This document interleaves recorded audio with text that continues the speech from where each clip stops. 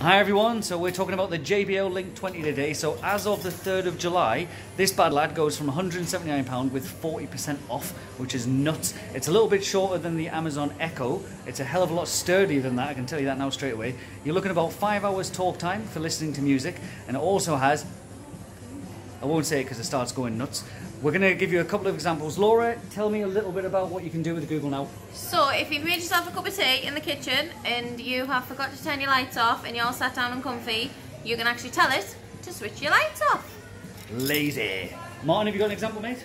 For all the other guys in the room, if anyone touches the heating, you can turn the thermostat up and down to get it back to what it should have been at the start. So you can be sitting in your front room, just say, and it'll just say, I want to know the news, the weather. You can li listen to different tunes. We got any examples of tunes? Yeah, yeah, certainly. Can we have that, please? You gotta give me loving and you gotta give me some. You gotta give me loving and you gotta give me some. Come, baby, come, Anything baby, else? baby, come, come.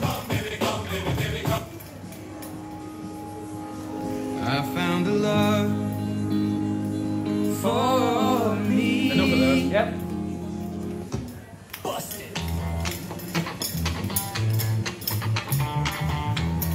And the other thing you can do with this is it's IP68 rated, which means you can put it in the water. So if you're looking for a cheeky weekend showcase, you can't really beat 100% waterproof speaker for barbecues at the weekend, birthday parties, anything like that.